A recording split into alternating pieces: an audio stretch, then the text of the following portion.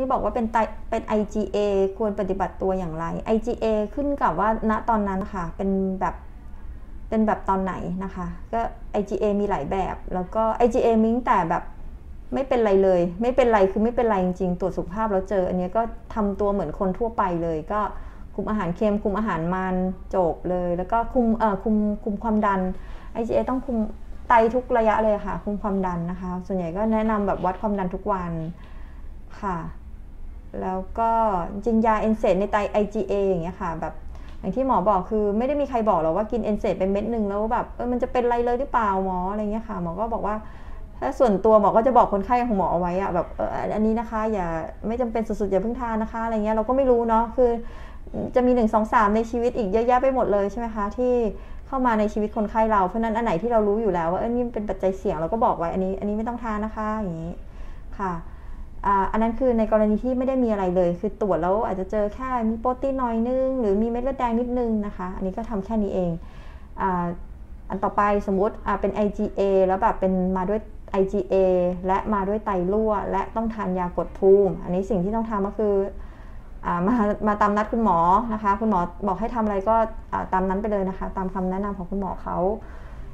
ถ้าเกิดช่วงทานยากดภูมิหลีกเลี่ยงอาหารที่จะทำให้ท้องเสียหรือติดเชื้อนะคะ อาหาร สุกอาหารดิบไม่เอานะคะ อาหารสุกสุกดิบดิบก็ไม่เอานะคะ ต้องสุกสะอาดใหม่เสมอนะคะ อาหารค้างคืนทิ้งไปเลยค่ะทำใหม่นะคะ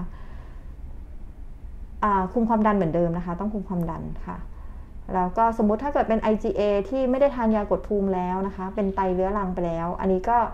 ก็ทานตามระยะไตนะคะ ว่าท่านเป็นแบบไหน แล้วก็ระวัง IgA สมมติ IgA สงบอย่างเงี้ยค่ะ ไม่ได้ต้องทานยากดภูมิแล้ว ต่อให้ไม่ว่าจะ เป็นไตระยะไหนก็ตามนะคะ ก็ก็ดูแลตัวเองต่อแล้วก็ดูว่าเอ๊ะมันมีกำเริบเปล่าเวลา IgA จะกำเริบพวกพวกกลุ่มที่เป็นกลุ่มไตอักเสบจะกำเริบเนี่ยค่ะ จะดูได้จากอะไร ดูได้จากความดันนะคะ เพราะนั้นต่อให้แบบแข็งแรงสบายดีแล้วความดันนะคะ เป็นอะไรที่แบบ วัดความดันเหมือนเป็นกินข้าวไปเลย อาจจะไม่ต้องเช้าวันเย็นนะคะ เป็นเช้าเย็นนี้ก็ก็ได้นะคะ วัดความดันเราก็จะรู้ว่า ช่วงปกตินะคะ ความดันประมาณนี้ประมาณนี้ปรากฏไอ้ช่วงไหนความดันเกิดขึ้นมา เราจะดูแล้วไอ้ตัวโรคแอคทีฟหรือเปล่านะคะพอสมมุติว่าถ้าเกิดไอ้ความดันเริ่มขึ้นปกติวัดอยู่ประมาณเท่านี้อุ้ยทำไมช่วงนี้ความดันเริ่มสูงนะคะ ก็อิอะและว่าเอ๊ะมีอะไรหรือเปล่านะคะ ก็ไปดูซิอาจจะลองสังเกตก็ได้เออปัสสาวะปกติทั่วๆไปเอาฟองประมาณนี้เอาช่วงนี้ทำไมฟองเยอะกว่าเดิมจัง แต่ฟองเนี่ยเป็นอะไรที่แบบบอกยากนะคะ แต่ก็เป็นอันนึงที่ไหนๆอยู่บ้านก็ ก็เป็นอันนึงที่พอจะมองได้ มันก็จะมีความแตกต่างกันในความแบบโปรตีนน้อยกับโปรตีนเยอะฟองก็จะเยอะน้อยต่างกันนะคะ แต่ว่าอันนี้สุดท้ายก็จะต้องไปตรวจดูอยู่ดีนะคะ ว่าสรุปโปรตีนเยอะหรือน้อย อันต่อไปก็คือดูว่าบวมไหมนะคะ บวมไตบ่อยทีหนึ่งบวมไตบวมอาจจะบวมที่หน้าแข้งนะคะ หน้าแข้งเวลาจะดูเนี่ยก็ดูตรงหน้าแข้งที่เวลาเตะเตะโต๊ะแล้วเจ็บอะค่ะไอตรงเขาเรียกปุ่มหน้าแข้งแข็งๆนั่นนะคะ อ่านั้นก็ถ้านั้นบวมอะค่ะ เวลากดก็กดงนี้เลยไม่ได้กดงี้นะคะบางคนชอบกดเนี่ย ตึงๆไม่ไม่ทันบวม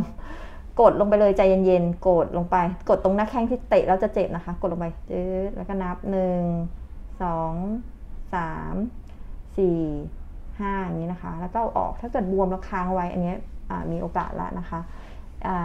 หน้าแข้งได้ แล้วก็อีกอันนึงก็คือหลังเท้าควรจะบวมสองข้างนะคะ แล้วสองข้างที่บวมควรจะเท่า ๆกันนะคะ ไม่แบบว่าบวมเบ้ข้างนี้ก็ก็ต้องไปดูว่ามีอะไร ส่วนใหญ่ก็จะบวมเท่าๆกัน